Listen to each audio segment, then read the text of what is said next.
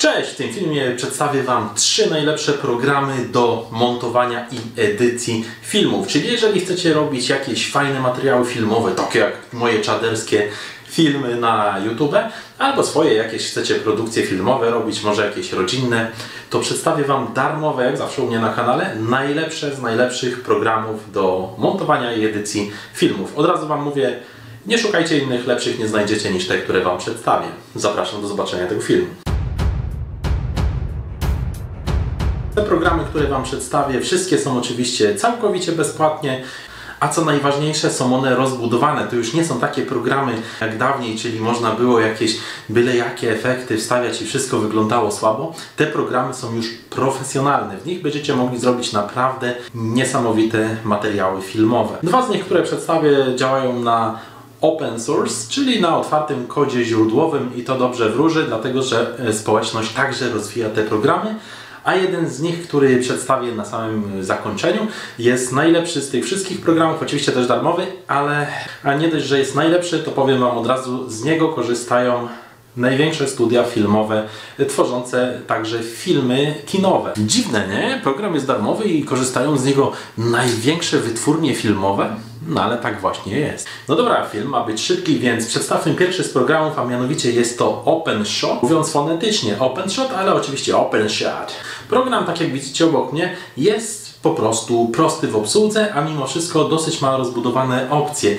Od razu Wam mówię, że on ma z tych trzech, które wymienię, najmniejsze wymagania systemowe. Czyli jak macie starszy komputer, to na nim spokojnie dziabniecie sobie materiał filmowy, który będzie wyglądał dobrze. Program, co więcej, jest też dobrze spolszczony. Będziecie mogli zmienić w nim język na język polski, tym łatwiej będziecie mogli go obsługiwać. Program oczywiście jest najmniejszy, ma wymagania systemowe, ale mimo wszystko możecie na nim montować całkiem niezłe filmy. Dobra, wyjątkowo też powiem Wam, dam Wam linki w opisie tego filmu bezpośrednio do y, programów, czyli do producentów tych programów, żebyście mogli sobie je też bez problemu pobierać. Tym razem wyjątkowo maksymalnie ułatwię Wam życie. Dobra, lecimy do następnego programu, a mianowicie jest to Shortcut czyli program, który też widzicie jak wygląda obok i od razu Wam mówię, w nim nie będziecie mieli możliwości prawdopodobnie zmiany na język polski, ale co więcej program przypomina z wyglądu bardzo ten, który być może kojarzycie, a mianowicie Vegas Pro. Z wyglądu on jest do niego zabójczo podobny i też działa na otwartym kodzie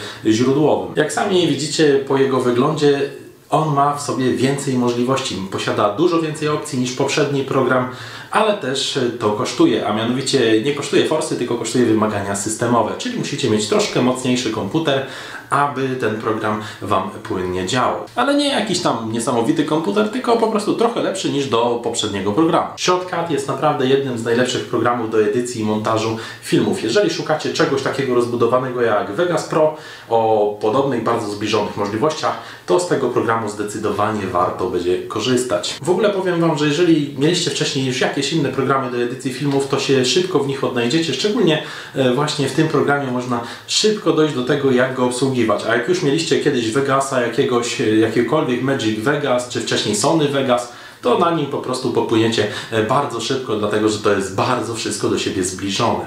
Ale jaki program do edycji i montażu filmów jest najlepszy z najlepszych, którego używają nawet profesjonalne studia filmowe? A no właśnie. A jest to mianowicie DaVinci Resolve, czyli DaVinci Reslowe, jakbyście go wyszukiwali. Jest to program, który Trzeba to powiedzieć, on tworzy zupełnie nowe środowisko e, montażu i edycji filmów. To nie jest taki sam program jak poprzednie czy dowolne inne płatne programy, które mają jakby utarte schematy działania. On tworzy zupełnie nowe możliwości wcześniej nieznane w programach tego typu. I od razu Wam mówię, lepszego programu nie znajdziecie niż właśnie DaVinci Resolve, albo ten wcześniejszy shortcut. Ale teraz mówimy o DaVinci, czyli najlepszym z najlepszych, tylko że tutaj Wam od razu muszę powiedzieć, póki co nie znajdziecie w nim także języka polskiego, a dodatkowo prawdopodobnie, jeżeli nie mieliście z nim do czynienia wcześniej, a być może nie mieliście, to będziecie musieli odrobinę się pouczyć jego obsługi, bo on troszkę ma inaczej niż na innych programach, ale to też jest bardzo domyślne, więc metodą prób i błędów albo mnóstwo, po prostu są tysiące poradników już do tego programu, znajdziecie potrzebujące Was rozwiązania. Niestety program ten ma jedną być może wadę. Oczywiście to nie jest wada, ale dla części osób może nią być. Ale dobra wiadomość jest taka, że ta wada polega tylko na tym, że on ma duże wymagania systemowe, czyli jak macie mniej niż 16 GB RAMu, nawet go nie instalujcie, z tego powodu, że prawdopodobnie on Wam nawet się nie uruchomi na Waszym urządzeniu. DaVinci Resolve naprawdę ma wymagania systemowe spore, ale ma też największe możliwości ze wszystkich innych programów. I od razu Wam też powiem to, co jest najważniejsze. Te wszystkie programy, a szczególnie dwa ostatnie, które wymieniłem, one mogą konkurować z każdym programem płatnym, dowolnym programem płatnym, jakiego byście sobie nie znaleźli. To już nie są te czasy, co kiedyś, że bezpłatne programy były do kitu, a płatne miały trochę lepsze opcje. W tych czasach naprawdę praktycznie we wszystkim można znaleźć bezpłatne programy, które są równie dobre i niczym nie ustępujące tym płatnym. Ale to jest tak, jak mówiłem wcześniej, DaVinci też tworzy zupełnie nowe środowisko i zupełnie nowe możliwości, jakich nie tworzył do tej pory żaden inny program.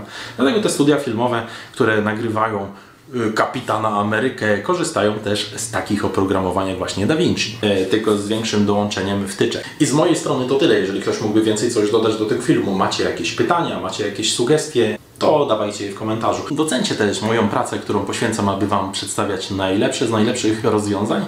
Możecie dać plusa, możecie dać subskrybuj, możecie dać komentarz. Jedno z trzech musicie dać. Dzięki za zobaczenie tego filmu. Zapraszam na następne. Trzymajcie się. Cześć.